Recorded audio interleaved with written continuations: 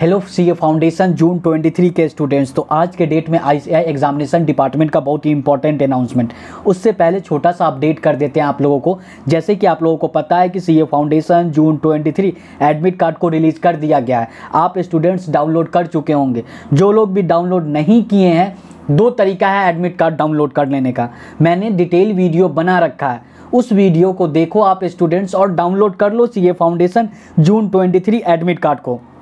कुछ ऐसे भी स्टूडेंट्स हैं जो लोग एडमिट कार्ड नहीं डाउनलोड कर पा रहे हैं। तो उन स्टूडेंट्स से रिक्वेस्ट करेंगे प्लीज़ स्टूडेंट्स आप लोग सबसे पहले पेमेंट स्टेटस चेक करो एग्ज़ाम फॉर्म का।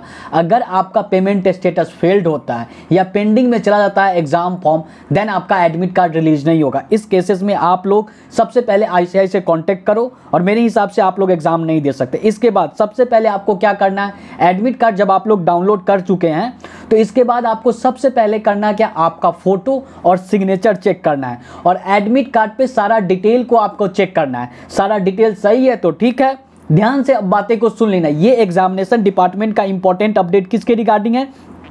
फ़ोटो और सिग्नेचर के रिगार्डिंग अगर स्टूडेंट्स ध्यान से बातें को सुन लेना। आपका फ़ोटो और सिग्नेचर एडमिट कार्ड पे सही से दिख नहीं रहा है।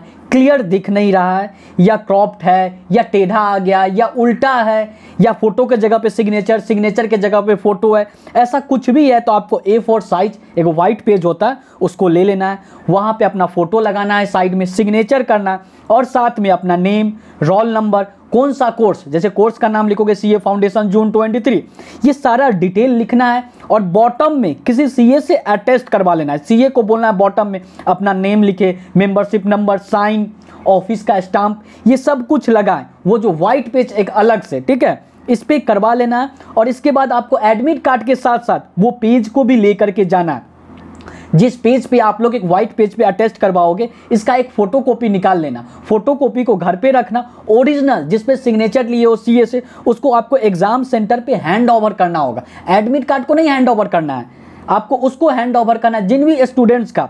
फ़ोटो और सिग्नेचर मुझे स्टूडेंट्स नहीं पता किन स्टूडेंट्स का सही फ़ोटो आया है सही सिग्नेचर आया है। ये तो आप लोग समझोगे ना, अगर फ़ोटो और सिग्नेचर सही नहीं आया देन प्लीज़ ये काम करोगे। और स्टूडेंट्स इस वीडियो को शेयर कर दो। मान लेते हैं कि एसएसबी पोर्टल पे अभी भी आपका फ़ोटो और सिग्नेचर सही नहीं है। तो आप लोग क्या करोगे? अभी भी चेंज कर सकते हो। जब आपका मार्कशीट आएगा ना तो वहाँ पे अपडेटेड आएगा। तो एग्ज़ाम देने से पहले आप स्टूडेंट्स चेंज कर सकते हो।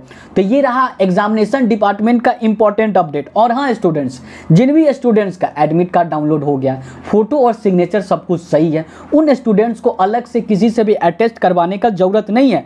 और जो लोग एडमिट कार्ड डाउनलोड नहीं कर पा रहे हैं स्टूडेंट्स तो आपके स्क्रीन पर मोबाइल नंबर शो कर रहा है। प्लीज़ आप आईसीआई से कांटेक्ट करोगे या एग्जामिनेशन का हेल्पलाइन ईमेल आईडी है, इससे कांटेक्ट करोगे मेल करोगे डिटेल में। मुझे कमेंट करके या किसी और चैनल पे कमेंट करके आपको बेनिफिट नहीं होने वाला है स्टूडेंट्स जो भी था, मैंने इस वीडियो में गाइड कर दिया स्टूडेंट्स और हाँ आपके मन में कोई अलग एडिशनल डाउट है तो प्लीज़ कॉमेंट बॉक्स ओपन है। कॉमेंट करके मुझसे पूछ सकते हो। और हाँ स्टूडेंट्स क्या आप लोग नहीं चाहते हो कि चार्टेड स्टडीज़ बहुत आगे जाएँ? स्टूडेंट्स तो प्लीज़ चैनल पर नए हो तो सब्सक्राइब करने के बारे में सोचो नहीं। सब्सक्राइब करो, प्लीज़ मेरा हेल्प करो और चैनल को सीधा सब्सक्राइब कर दो, क्योंकि सीए रिलेटेड यही एकमात्र ऐसा चैनल है जो कि सबसे पहले अपडेट करता है स्टूडेंट्स तो प्लीज़ इतना नहीं सोचना है सब्सक्राइब करने में। प्लीज़ स्टूडेंट्स सब्सक्राइब करें और मुझे सपोर्ट करें। तो सब्सक्राइब करें चैनल को।